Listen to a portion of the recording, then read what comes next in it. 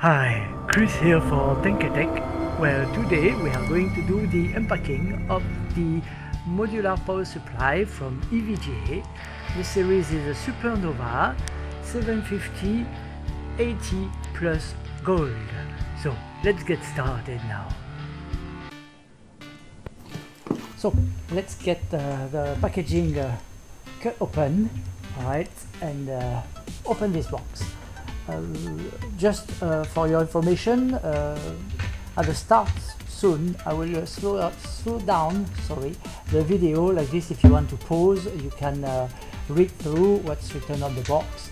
But all the details are in the comment, comments sorry down below. Right so feel free to go there as well.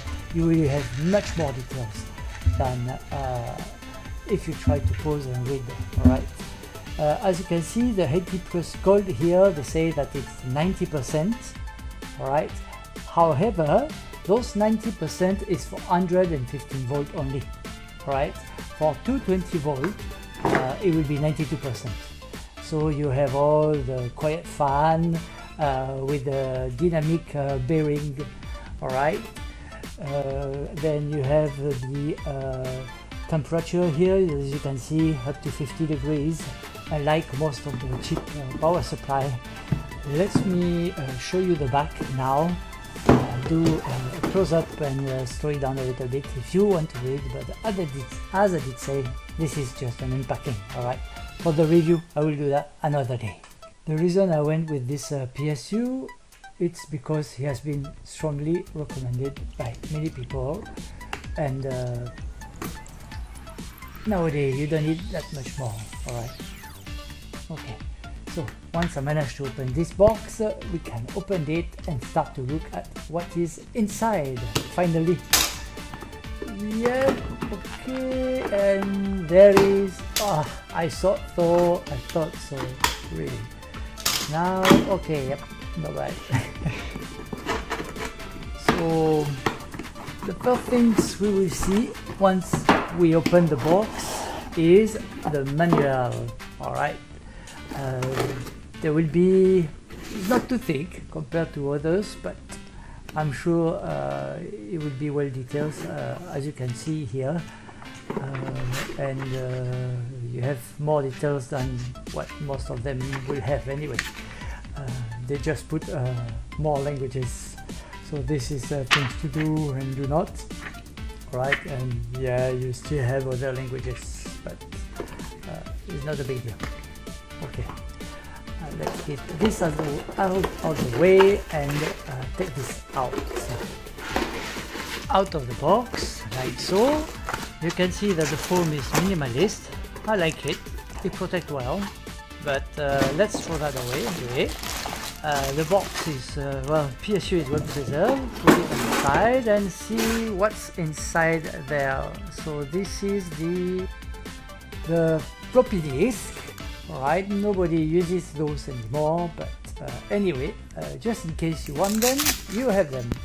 Those, uh, that's the nifty features uh, who comes with all the harnesses. You can reuse this for the cable management.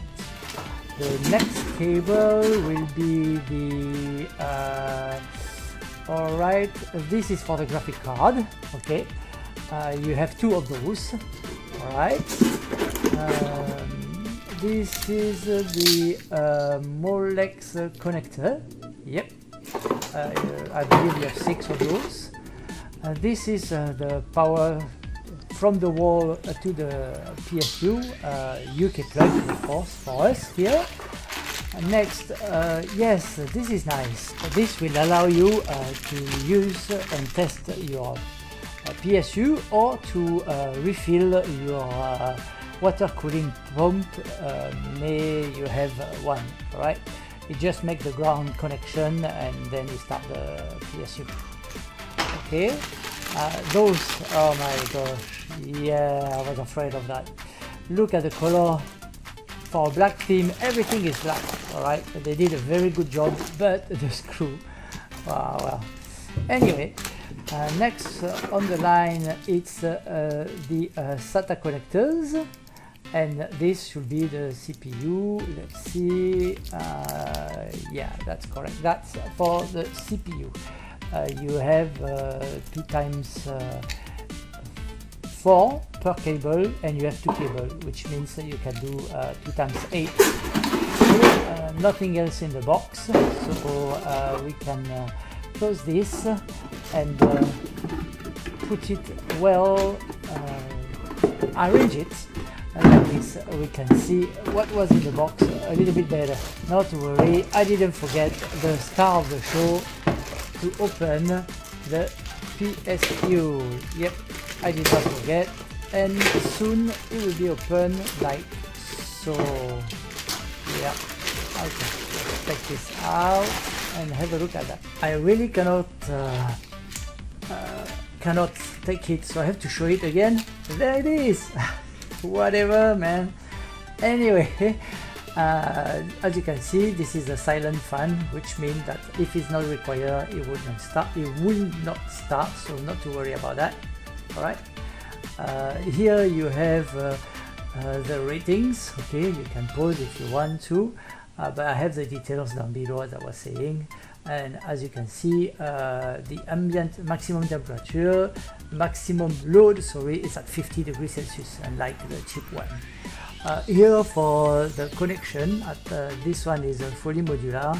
Uh, you can see that uh, everything is well explained. All right. So I will show you now how it works. But first let me yep you have here the on off and what was important to me to point out is that it's automatic it will adjust itself. Doesn't matter if you have uh, 100 uh, or 220 volt okay? So now uh, let's try to plug in a wire to show you uh, how uh, it does okay? So uh, let's make a little bit of space here okay? Right so I'm not too good at it but uh, as you can see uh, it goes only one way which is good for me okay? So you just have simply uh, to align it and uh, push it downwards and you should hear a click like so. Then that is done. Uh, not too bad isn't it? Uh, so this one it's the 8 pin okay for the CPU this one you can see that uh, for this particular uh, PSU they do not click together some of them will but once you put it in the plug there is no, problem at all. I will also be using uh, this other one because I need an 8 and the 4 pin. Okay. Uh, so uh, this one goes into uh, the CPU and this one into the motherboard. And that's about it. The next one it's the one we don't use which is uh, molex collector to uh, floppy disk. Okay but uh, you have it so why not? I'm not even sure if you guys have heard of floppy disk. Anyway uh, let's continue uh, with uh, the process okay?